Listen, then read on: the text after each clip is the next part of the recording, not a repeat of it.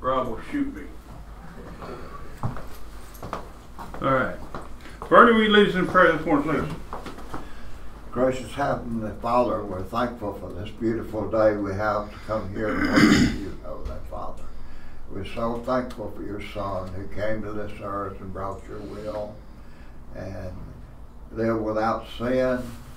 He was rejected by the Jews and crucified, buried, and raised the third day. Through that shedding of that blood, we have remission of our sins. I pray that you'll be with us this day, Heavenly Father. Help us to live as we ought to live, Heavenly Father, in everything we do. In Christ's name we pray. Amen. All right, we're still talking about faith. Uh, last week we started talking about in, the, in defense of the Bible's inspiration, and we're going to continue that thought today, uh, hit it a little different direction. Um, the claims of the Bible inspiration can be drawn from basically two sources. There's external sources, and then there's internal sources, uh, or evidences rather. The external evidences are the scientific, the uh, uh, artifacts, archaeological things that can be used to support uh, the claims of the Bible. The internal evidences is when you take passages of Scripture that can't be explained in human terms or human reasoning, um, and realizing there's no other way that these things could come together in Scripture other than a superintending intelligence behind it.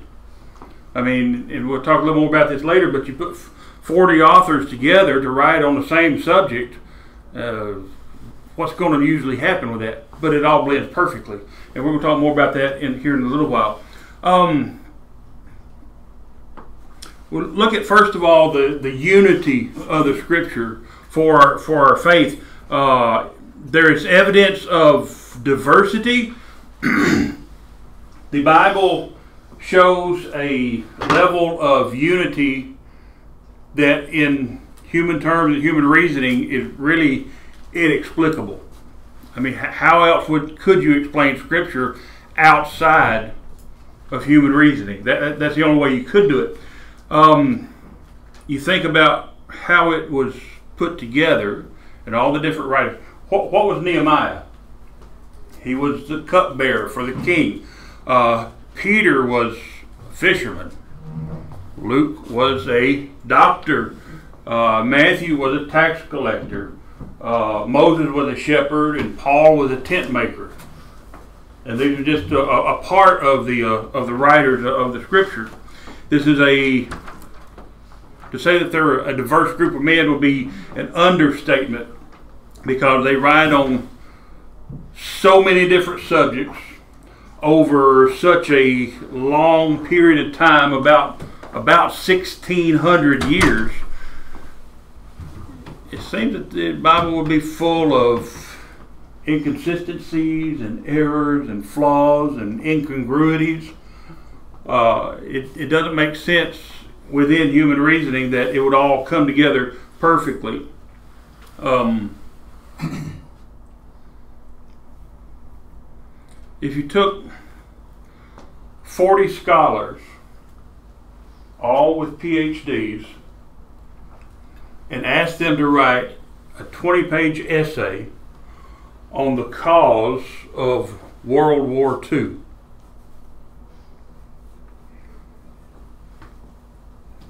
You would have more disagreement than you would agreement.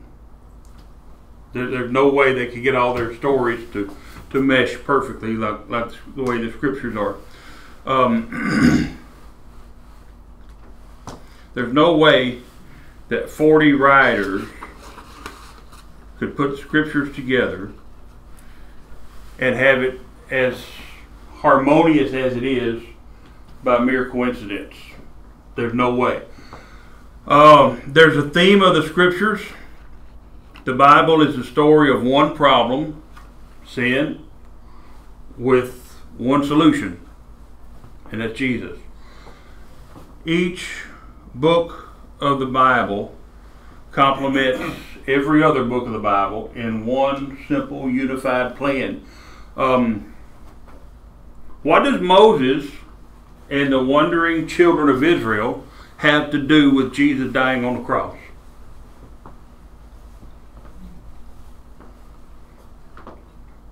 What did Moses and the wandering children of Israel have to do with Jesus dying on the cross?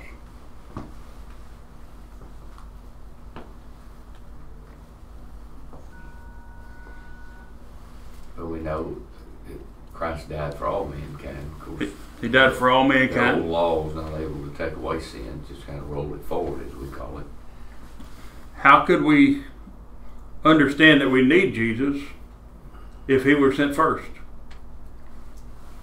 I mean, God could have sent him first, but how could we know, how could we understand that we actually needed him? Um, we learn from the stories of the Old Testament, in particular the children of Israel, that man is not able to live up to God's standards alone. That started all the way back in the Garden of Eden. Adam and Eve couldn't stay away from one single tree. they couldn't obey one single command. That one simple command they, they disobeyed and, as one preacher said, ruined it for everybody. Um, There's there's uh, some symbolism when you look back, of course, with what we know now about Christ or God's love and that those kind of things. You see the Jewish people when they came out of Egypt, He, he uh, delivered them. You know, you can make some analogies there about uh, God delivering us from sin. You know, through Christ, and uh, then once you know when they were in the wilderness, they were having some trouble out there. Was it? Um, uh, being bitten or uh, sickness or something, but and they had to look upon the uh, mhm. the uh, Fiery serpents. Yeah, that's what it was. They were being bitten, and they had to look upon the the um, Had to look upon the, Right. the, the Right. serpent on the pole. brazen yeah, Yeah. Yeah. pole. Yeah. But there again, you have the symbolism of Christ there in a way uh, that I, I thought of because Christ was lifted up on a cross and you know take away the problems we have of sin if we accept Him on His terms, and um, they were delivered by, by that kind of And I find it interesting that a lot of today's medical symbols, and I think Hibsy uses this, have a serpent on the pole. yeah yeah I've seen that. That's Yeah. I guess that's part of that. And it all traces back to, to that. Mhm. And by the way, I, I, I omitted a point. Looking at factual accuracy too. Uh, the Bible claims to be the inspired Word of God. So, in, in so being, it should be accurate in whatever it discusses. If it's inspired by uh, the Word of God, then it should be accurate. Uh, Paul said that God is not the author of confusion, 1 uh, Corinthians fourteen thirty three, uh, but rather of truth. Jesus said, uh, Sanctify them by thy truth. Thy word is truth. John 17, verse 17. Um, a lot of critics have suggested that Moses could not have written the Pentateuch because the act or, or the art of writing had not been established until afterward. So how could Moses write it if there were no way to write? but in 1933, there was somebody found a pottery water pitcher that was unearthed, and it had an inscription on it of 11 archaic letters, which is it had been referred to as the earliest uh, Hebrew inscription known to man that predated Moses. So that that proves that writing was around before Moses showed up. the Code of Hammurabi was written several hundred years before Moses uh, was born. Some secular writers have commented on it. Uh, Josephus confirmed that Moses wrote the Pentateuch, and other non Christian writers have credited Moses as the author of the first five books of the Bible. In Isaiah chapter 20 and verse 1, Isaiah mentions Sargon as the king of Assyria. And Isaiah had been accused of making a mistake because some claim that Sar or have claimed that Sargon was not the king of Assyria at that time. But historical evidence has been unearthed that he was the king of Assyria at that time. so Isaiah was right all along. Sir William Ramsay disputed the accuracy of the events that Luke wrote in the book of Acts. But Sir William Ramsay also himself dug up Asia Minor and convinced himself that he was wrong. That Luke was right all along. There's a prominent figure in the archaeological community named Nelson Glueck. He said it may be stated categorically that no archaeological discovery has ever con- has even controverted a biblical reference. Scores of archaeological findings have been made which conform in clear outline or exact detail historical uh, statements of the Bible. For instance, more than 30 names of emperors, uh, high priests, Roman governors, princes, on and on, uh, are mentioned in the New Testament. And all but a handful have been verified. In no single case does the Bible let us down in geographical accuracy. And whenever accuracy can be checked concerning Scripture, every minute detail has been found correct every time. Every time. and there's some more proof. There was uh, one of the best known meteorologists lived, you know, in the Old Testament. You remember him? Best known meteorologist. Yeah, Elijah wasn't said it wasn't going to rain for three and a half years. yeah, that's it wouldn't mean you go out on that limb today, would it? Uh, yeah. Yeah. Well, he said it's not going to rain till I say it rains. That's, That's right. Amen. And it didn't rain. yeah. which. which uh, I've always wondered in my mind. You know, they're in the middle of a drought, and he challenges the prophets of Baal yeah. to to the sacrifice. Mm-hmm. And I just wonder what the king is saying when Elijah comes up with all this water to cover his sacrifice with. Where did you get it from, and why are you wasting it? You know, we need that stuff. Um, the writers of Scripture they were often separated by uh, different centuries. Well, all of them were separated by centuries, uh, but yet their stories dovetail together perfectly. Uh, they have what one writer says astounding accuracy, and that provides additional proof of the Bible's inspiration. Uh, look in uh, Exodus chapter 1 and look at verse 11. Therefore, they set the task, taskmasters over them to afflict them with their burdens, and they built for Pharaoh supply cities, Pithom and Ramses. All right, and flip over to chapter 5, verses 6 through 8. So the same day Pharaoh commanded the taskmasters of the people and their officers, saying, You shall no longer give the people straw to make brick as before. Let them go and gather straw for themselves. And you shall lay on them the quota of bricks which they made before. You shall not reduce it, for they are idle. Uh, therefore they cry out, saying, Let us go and sacrifice to our God. Excavations have been made at Pithom that reveal structures that the lower layer of bricks is full of straw, the middle layer of bricks have less straw, and the upper layer of bricks have no straw, which coincides with what Moses wrote there.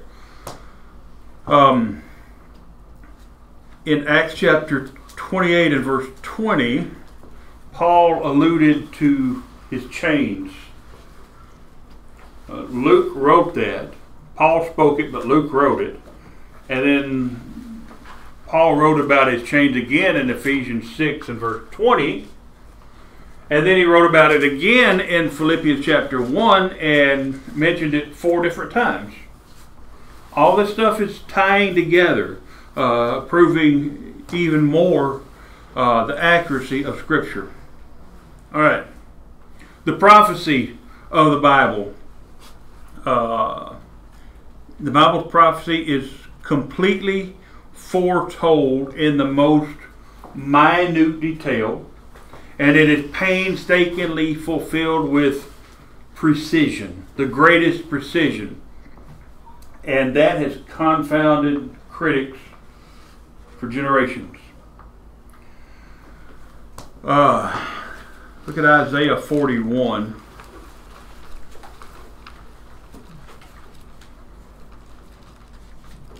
Isaiah 41 and verse uh, 22.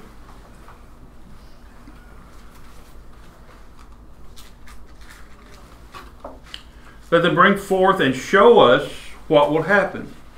Let them show the former things what they were, that we may consider them, and know the latter of them, know the latter end of them, or declare to us things to come. Well, uh, one writer says, It is one thing to make the prediction, it is entirely another to see that prediction actually come true and be corroborated by subsequent history. Um, you can, uh, I can't help but think of Nostradamus. And when 9 11 come around 18 years ago, and all the talk was on Nostradamus talking about twins falling what does that have to do with what happened in 9/11 or what happened on 9/11? Uh, there was a lot of talk about other so-called prophecies of Nostradamus. Uh, one of them had to do. I can't think what it was, but he set a date for something. He said a, within a uh, a time span for something to happen, and he was like a hundred years off. And I keep thinking that. Um, a passage in Deuteronomy that basically says if if the prophet makes a prophecy, if he's not 100% accurate, then you don't need to worry about him. Because a true prophet in making true prophecy is going to be 100% right 100% of the time. Uh, but then again, you got the end. When is the prophecy fulfilled? That's when what amazes you and me comes into play. Uh, there are five things that must be in order for prophecy to be valid. Number one, it must be specific. There can be no room for guesswork, nothing to make you think, well, I'm not sure about that. Uh, it has to be specific. Number two, there must be a sufficient amount of time between the prophetic statement and its fulfillment.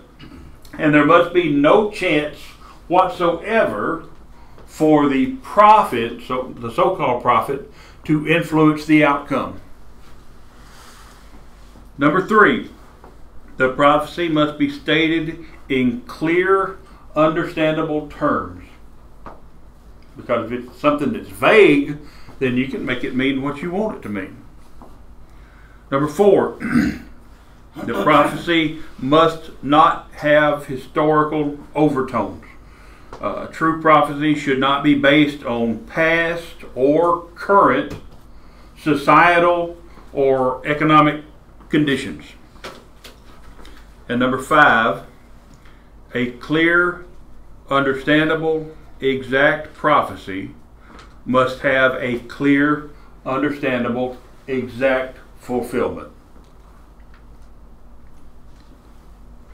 Yeah, a lot, a lot of times people, uh, you know, um, that are predicting things and all that, you know, even if you had a seventy percent accuracy rate, they think it's pretty good, you know, a lot of people, if you're picking horses or the weather or stock or anything else, you think, well, this guy's pretty good, dang, you know. But, you know, he's just, he's just studying history there and trying to make a guess at it, that's all he's doing, you know, and Yeah. um, and and you see these guys. There's one of them TV show or two that came out. You know this, where these guys are trying to uh, help you connect with those that have gone beyond and all Yeah. that. You know, I remember watched a little of it just see what they Oh, do. yeah. They they try to you know get some similarities going. They learn how to ask questions to move to something else. You know, to, to get an answer. So it's manipulating the Um, audience rather than really not know anything. Y'all ate eggs and bacon Oh, for really? breakfast. Oh, we know something here. Can you think of anything that advertises 100%?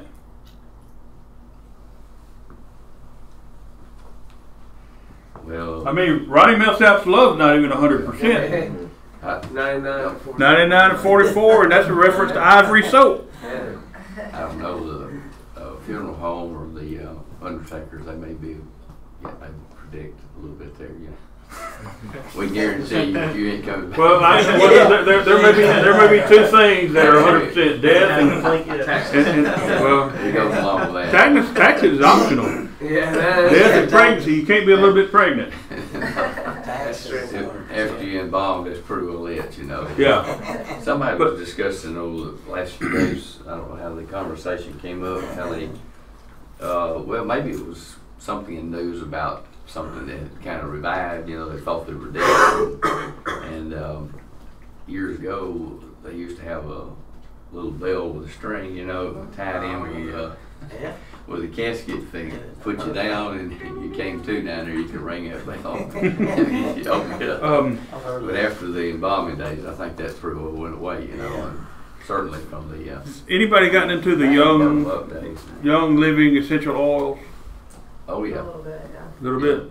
yeah, Uh, I think so. my wife loves, I, and I like those things too. They, they actually work. They do. My doctor told me Yeah, I, I've been using some old a while back and see my doctor, and, and he told me, he said, man, those things been around thousands of years. He said, there's something to them. They, I keep using them then. But I noticed some of the, the thieves' uh, hand sanitizer, Yeah. it's only 99.99%. Nothing's 100%. But, you know, one of the few things you will find 100% on is uh, prophecy of Scripture. That's it. Um, there's some prophecies concerning the kings and nations and, and cities. Uh, look at 1 Kings chapter 13.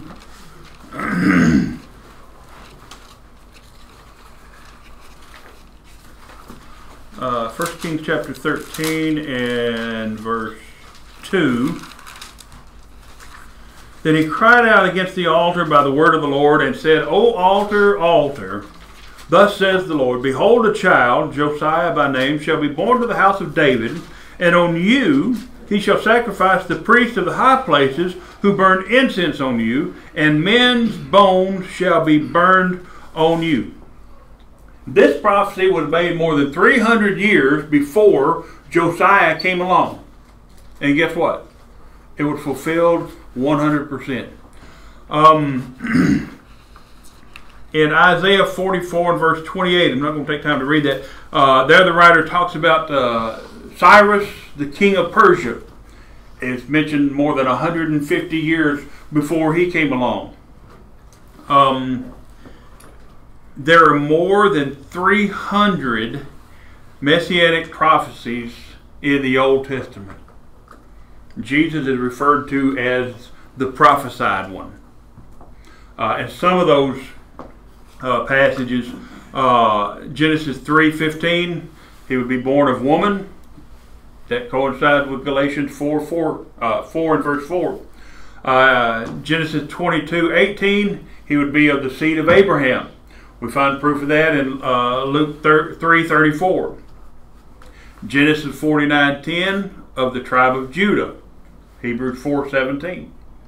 And then there's 2 Samuel 7 verse 12, he would be of the royal line of David. Luke 132. Micah 5 and verse 2, he from Bethlehem. Well, that coincides with uh, Matthew 2 and verse 1. He would be born to the Virgin Mary, Isaiah 7 verse 14, and we find that true in Matthew uh, 122. Um, he would he would come in order to bruise the head of Satan. Genesis three fifteen, and we find uh, that coincided with Galatians four four and uh, Hebrews two 12 through 14. And there's a lot of other things about Jesus' ministry and how he would be treated that came to pass. Isaiah 53 verse 3 talks about that he would be rejected and he would know grief. Proof of that on the cross. Uh, Psalm 41 and verse 9, he would be betrayed by a friend, Judas, uh, for 30 pieces of silver, Zechariah 11 verse 1. And we find that fulfillment in John 13 verse 18 and Matthew 26 verse 15. All right, now this is the scientific foreknowledge of, of Scripture. This is the stuff that really gets my attention, that amazes me. And, and we talked a little bit about this last week with the placement of the stars in the universe and all that, so forth. Um, but looking at the scientific foreknowledge of the Bible, looking at the field of astronomy, if you look in Isaiah chapter 40 and verse 22, Isaiah said, It is he who sits above the circle of the earth, and its inhabitants are like grasshoppers. The circle of the earth. Uh, the Hebrew word for circle literally means sphere. The earth is a sphere, we know that. But what did the people of Isaiah's time think about the shape of the earth? It's flat. They thought it was flat. Isaiah was right all along. Um, look at Job, uh, chapter 38.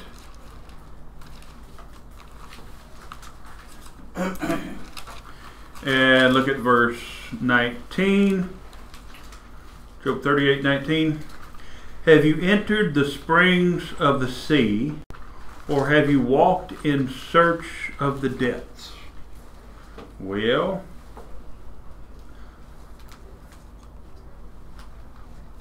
that's the wrong verse. Hold on. Verse 19, not verse 16. Uh, where is the way to the dwelling of light, and darkness, where is its place? Well, until the 17th century, it was believed that light was transmitted instantaneously. Boom, there it is. But that's not true, and we demonstrated last week. Vernon, you weren't here last week, were you? We demonstrated last week, but like that, and that seems instantaneous. So we talked about the speed of light being what? 186,000 miles per second. That's the reason it seems instantaneous in here, but it's actually moving. Um,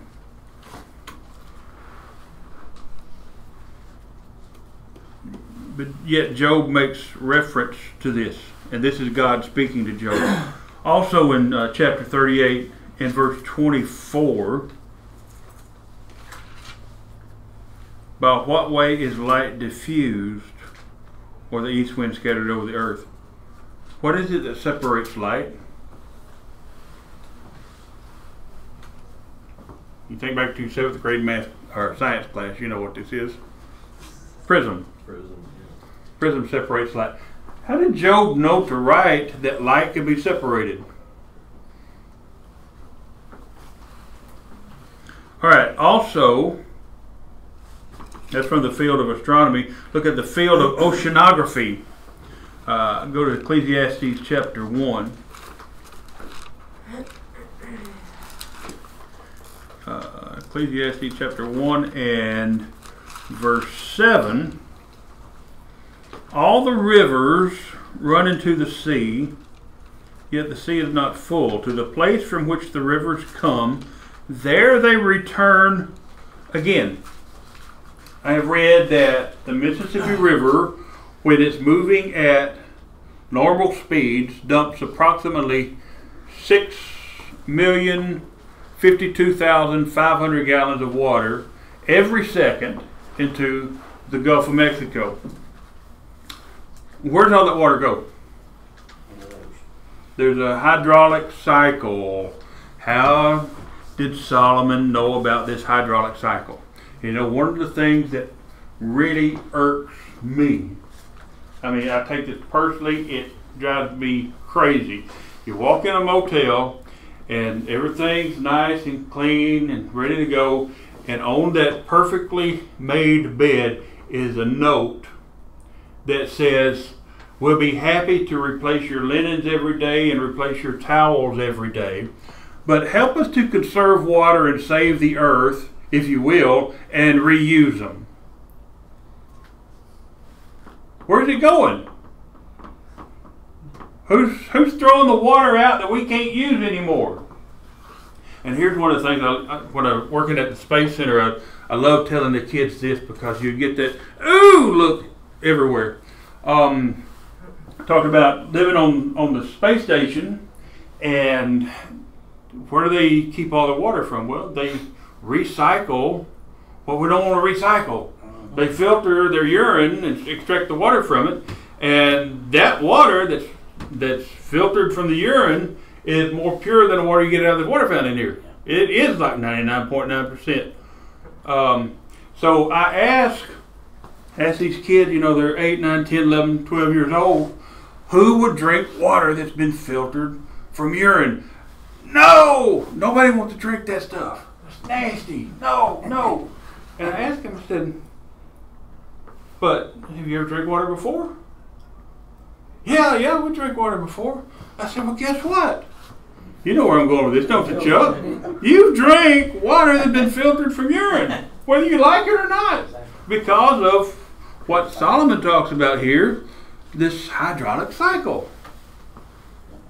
But the thing about the motel drives me nuts. I can't stand that. You know, if you want me to help you conserve your energy, keep your utility bill down, I can deal with that. But don't don't mislead me that way.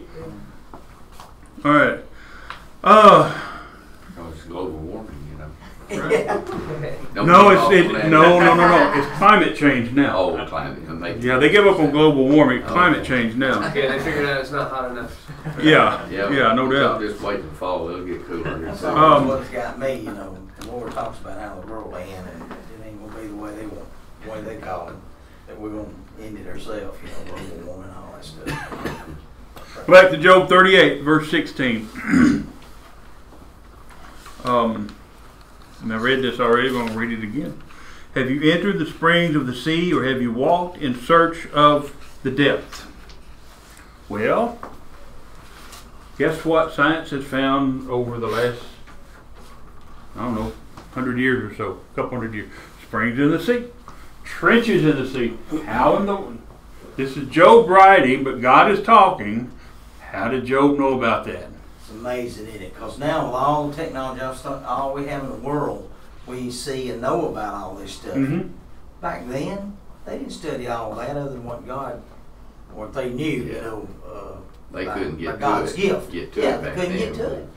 When I joined the Navy, and everything about space, they already knew. when I joined the Navy, talk, I'm sitting in a recruiter's office, uh, recruiting office on North Parkway, and he asked me if I'd be interested in going to submarines, and that'd be interesting. Yeah, I might do that. and uh, so we talk a little more, and and I don't know what to expect out of the Navy no more. Um, and we talked more about submarines, and I had had a good score on my ASVAB test. He said, "You can do this. You can go on a nuclear sub and do whatever." And, and we talked more about submarines, and, and then he let slip. He said, "In the whole history of the Navy, we've only lost two. Two." I said, "Lost two what? Lost two submarines." I said, "What do you mean lost two submarines? Blew up? Hit with torpedoes or what?" He said, "No." He said, "Lost." I said, "What do you mean lost?" He said, "Well, they went up under continents and couldn't get out." And that's when I started to change my mind about submarines. Two is two too many. Um, so I, no, I, I was on an aircraft carrier. I'm proud of that. Real Um, safe job there. I'm sure. so what? Real safe job in Yeah. Sure there. Yeah. Um, It's like saying you want a hand grenade or you want to stick Yeah. dynamite. Yeah. yeah. Yeah. Uh, Genesis 6 and verse 15. The instruction of God given to Noah how to build an ark. Genesis 6:15 and this is how you shall make it. The length of the ark shall be 300 cubits, its width 50 cubits, and its height 30 cubits. guess what? The the ratio of the ark was 30 to 5 to 3. And science has learned that that is the perfect ratio for a large boat to be built for seaworthiness. So that, that just blows my mind. How did Noah know that? All right. All right. In the field of physics, look in Genesis chapter 2 and verse 1. Thus the heavens and the earth and all the host of them were finished. All right.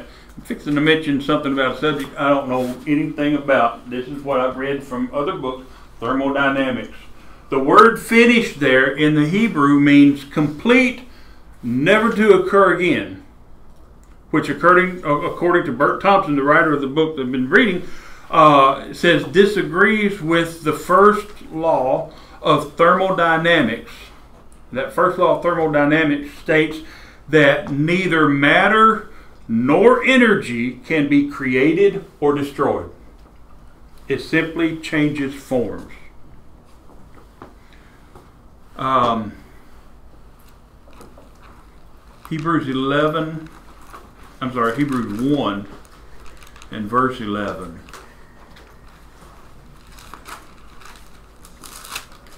Hebrews 1, verse uh, 11 says, They will perish, but you remain, and they will all grow old like a garment. All right, go to Isaiah 51 and verse 6. Lift up your eyes to the heavens and look on the earth beneath, for the heavens will vanish away with smoke. The earth will grow old like a garment, and those who dwell in it will die in like manner, but my salvation will be forever, and my righteousness will not be abolished. Psalm 102 and verse 26. They will perish, but you will endure. Yes, they will all grow old like a garment, like a cloak. You will change them, and they will be changed. What do you do with old garments? I'm talking about past the point of donating to somebody. Burn them, throw away. You throw them away. They wear out. But this is uh, biblical statements that the earth is wearing out. Which Bert Thompson says agrees with the second law of thermodynamics, but I don't know what the second law of ther- thermodynamics is. Anybody know? Tyler. Try thing. About something about Whereas life cannot come from non-life. There's, I guess, that's one. something's always wearing out, going, going, going away, and getting worse, isn't it, rather than getting better? That's why they talk about uh, That's true. evolution. You know, we're not evolving, getting any better anymore. All right. We can also look at the field of medicine, and uh, I think we have enough time to get this finished. Um, and we won't take time to look at all these passages, but uh, in the field of medicine, in, in Leviticus 17, 11 through 14, Scripture teaches that life is in the blood. Life is in the blood. Uh, what do the red blood cells do? They carry. Is it? They what? Now, go ahead. I'll let you. What, what do the red cell, red blood cells do? They carry Oxygen. They carry oxygen. Yeah. Without oxygen, we Die. So therefore life is in the blood. How did Moses know that? Genesis three fifteen uh, teaches us that male and female possess the seed of life, but in Moses' day, the common position that only the male held the seed of life. How did Moses know that? Uh, Leviticus 17 and verse 15. An animal that has died naturally must not be eaten. Well, do you know anybody who would do that? I just couldn't bring myself to do it. There's an old man down in uh, Homer, Louisiana, where we live. one of the finest men I ever met. Super nice, super cool. But if he finds a turtle or an alligator that's been hit by a car this morning, he will stop up and pick up the roadkill and take it home and cook it.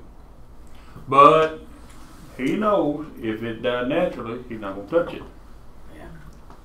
Uh, which They got a twenty-four hour time limit on that. Yeah. Uh, uh, his son-in-law killed a, a alligator, a four-foot alligator, and brought it to him for him to cook. Had an ice chest in his kitchen, and his kitchen's only not even this big, and uh, had an ice chest. Well, guess what? His son-in-law didn't actually kill the alligator. He just knocked him out, and he come alive. And it, but he got he got him dead though. He got him dead. Oh. All right. Um, another thing from the field of medicine: the Jews have held the the pig, swine, as unclean animals. They claim it's unfit for human consumption. Uh, they're scavengers. They ingest parasites and tapeworms. But guess what?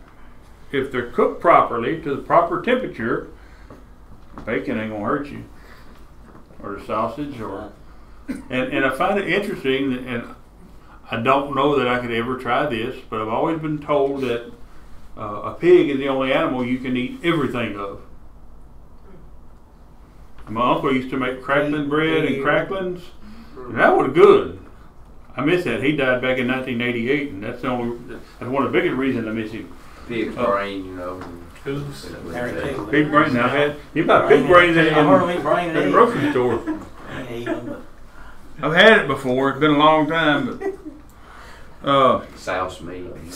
but how did the Jews know about that? You need chitlins. All right, uh, in Deuteronomy 23, 12 through 14, Moses instructed his people to bury human waste products. And in the passage it talks about because God's going to be walking through here and he doesn't need, he doesn't want to see any unclean thing. but there's a practical side to that too, and it, sanitary. Um, the Black Plague swept through Europe in the Middle Ages because people would take their human waste and throw it out on the street. Well, guess what's happening in San Francisco right now? Exactly. Worried about that. Uh, Genesis 17 12. God commanded Moses to circumcise all males on the eighth day. well, uh, there are three factors needed for proper blood clotting.